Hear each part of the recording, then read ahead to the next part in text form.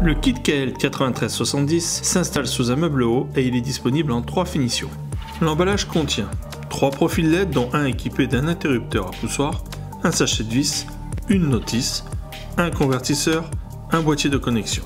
Les outils dont vous aurez besoin sont une équerre, un mètre, un crayon de papier, un tournevis ou une visseuse avec une empreinte Philips numéro 2. Afin de vous familiariser avec le montage du kit, nous vous conseillons, à l'aide de la notice, de connecter tous les éléments du kit.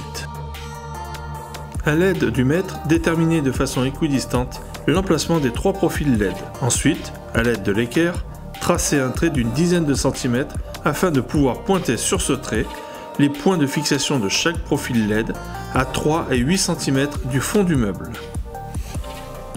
A l'aide d'une visseuse ou d'un tournevis, vissez les deux vis de fixation pour chacun des trois profils.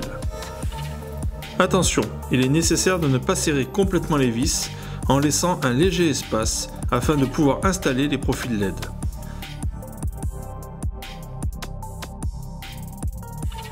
La fixation du convertisseur peut se faire de deux façons, soit à l'aide du double face présent sur le convertisseur, soit à l'aide de deux vis.